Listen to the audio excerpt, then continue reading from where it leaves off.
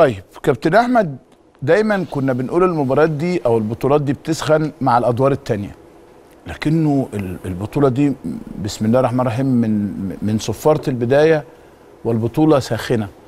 هل اللي جاي هيبقى كو- هيكون أكثر سخونة ولا ممكن نصاب باحباط يبقى الخوف من الهزيمة واللعب على التعادل والوصول لضربات الترجيح؟ شايف اللي جاي هيبقى عامل إزاي؟ والله يا كابتن في فرق بتدور متأخر. يعني بت- بتبدأ. تدور. وتطلع لفوق متأخر. زي مين؟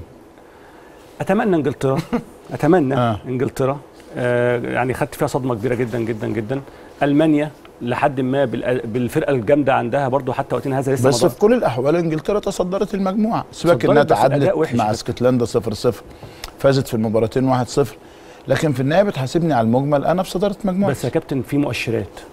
المؤشرات بتقول إيه؟ إن أنت معاك من أحسن لعيبة في العالم في كل المراكز آه. وعندك أحسن لعيبة في الدوري الإنجليزي.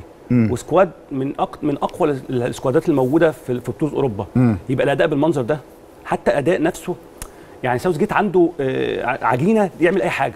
هات لي طريقة لعب واعملها وأنا هبقى في ظهرك حتى لو بتدافع. يعني لو أنت بتدافع وبتشتغل على مرتدات والكلام ده كله اعملها وأنا معاك. لكن ما فيش طريقة لعب واضحة وصريحة. انت انت في وقت هو من هو, الأوقات هو ممكن أصلحها لك أو أقول تعبير ممكن يكون صح أو غلط انت قوله يعني. هو مفيش إمتاع. يعني ألمانيا صحيح بتتعادل مع المجر 2 2 بس في إمتاع. كورة.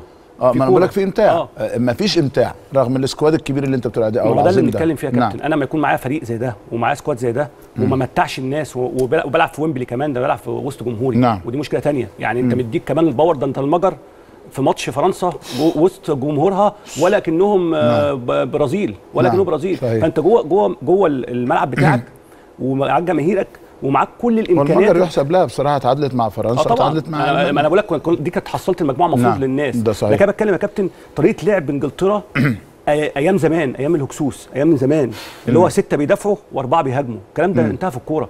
ومساحات واسعة كتير جدا جدا. أنت باكين الطرف يا كابتن ما بيهاجموش. يعني الماتش الأولاني حط لك تربيه الماتش الثاني حط لك لوك شو لوك شو ده دي كانت غريبة قوي قلنا مثلا هيسيب ووكر يزيد من ناحية آه. اليمين يعني يسيب مثلا ثلاثة آه. يامنوا وراجل وراجل ال back right اللي هو ووكر يكمل وواحد من وسط الملعب مع ماونت ونزيد بقى وسته مثلا في منطقة الجزاء خمسة في منطقة الجزاء مفيش الكلام ده خالص. ده الماتش الثاني جاب لوك شو ده من أحسن الباكات left في الدوري الإنجليزي هجوميا وعامل موسم هايل.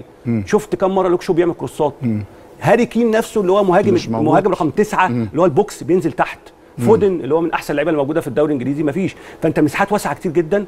آه، مفيش فرص خلق فرص كتير. أنت خلي بالك كابتن أسبانيا مثلا مثلا على سبيل المثال اتعادلت أول ماتش مع السويد خلقت كام فرصة؟